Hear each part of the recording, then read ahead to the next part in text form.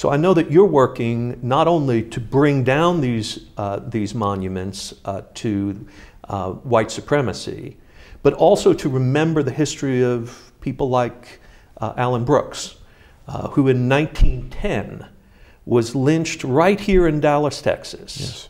at the corner of Akard Yes. and. Elm. Main. Uh, Mhm. Main, Uh-huh. Akard and Main Street.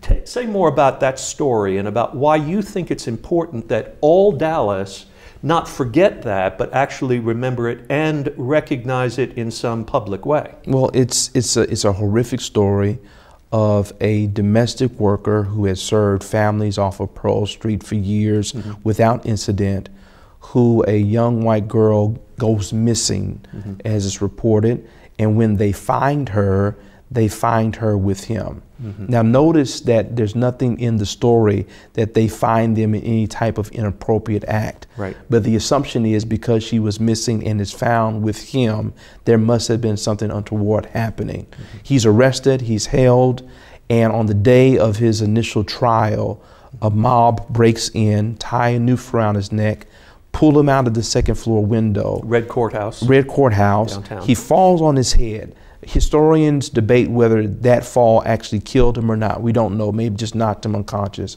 But he's dragged literally on the ground for half a mile. During the dragging, the noose breaks. They re-noose him, if you will, mm-hmm. drag him, and he's lynched then at the corner of Main and Akard before a crowd of several thousands. It's about estimates between five and eight thousand people come to see this man as he is hung.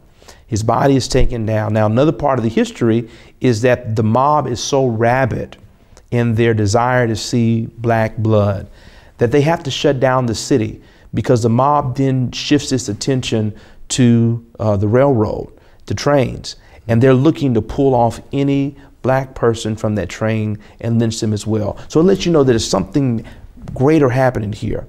The reason this is important is that the picture of the lynching be, is made into a postcard Wow. that is mailed all across the world Unbelievable. as an image of Dallas. Right. And so, really, there's not been any other image that has gone as expansive across the world as an image of Dallas alone, Right. as was that postcard at that time. Right. And we need to reclaim, if you will, that space, Yes. not only in memory of Allen Brooks and many others who've fallen, but to reclaim that space as a way we don't want to return to. It, it seems that in Dallas we have a way of wanting always to move on. Uh, the, the, the call to heal and to be a city for everyone, though, is at times a call that is necessary, and that is to remember and reflect. And this is part of our biblical religion, isn't it? Absolutely. I mean, uh, we, we can't be healed. Uh, we can't have a sense of forgiveness and reconciliation without a sense of confession and repentance.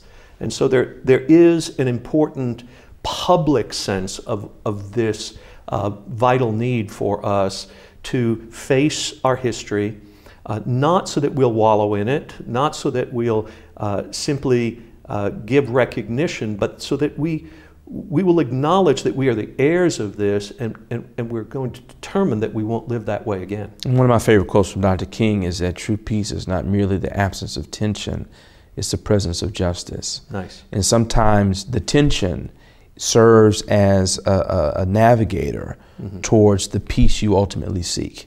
You have to allow that to guide you into a greater peace, a truer peace for all people. But it can't get there uh, accidentally. It has to be uh, steps taken intentionally to heal and to restore.